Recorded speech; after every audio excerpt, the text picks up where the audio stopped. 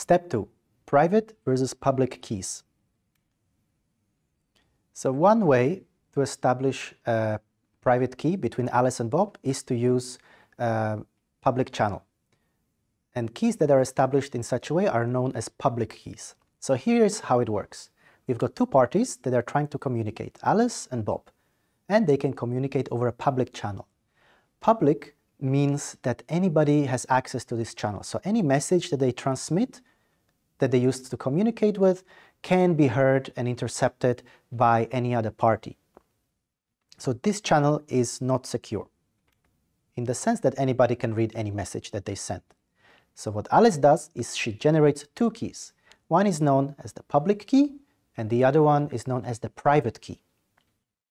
What she then does is she uh, sends the public key to Bob that she generated.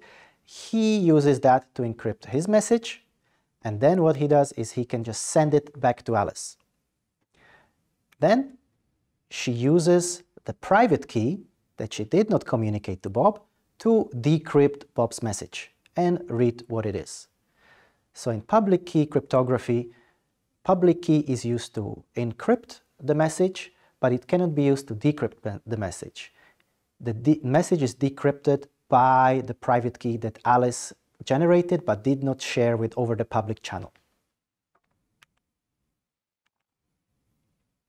And it works, but it has some disadvantages.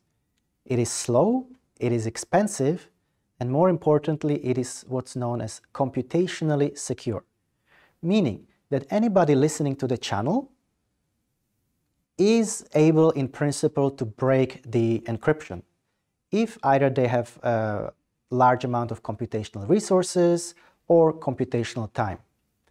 So it is not unconditionally secure.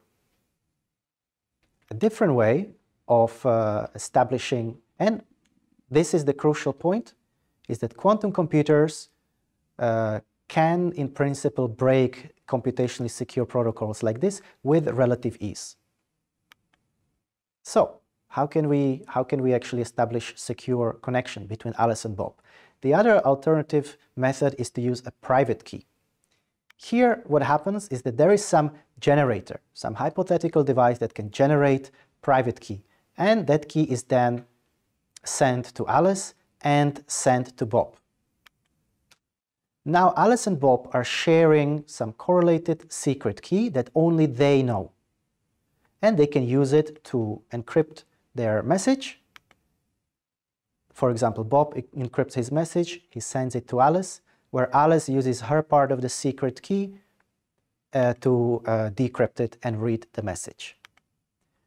This is known as a one-time pad or the Vernam cipher. And it is secure, it cannot be broken, provided that it is used only once.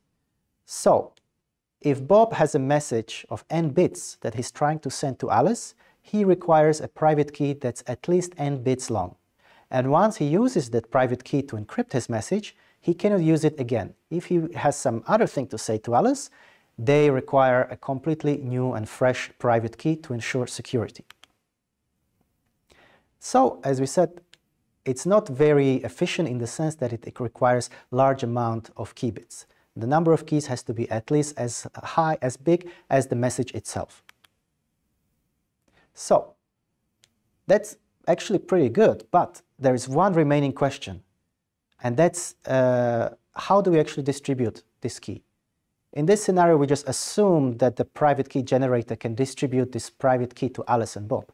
But of course, there is a question of what channel should the private key generator use, because uh, public channels are monitored by whoever uh, is listening.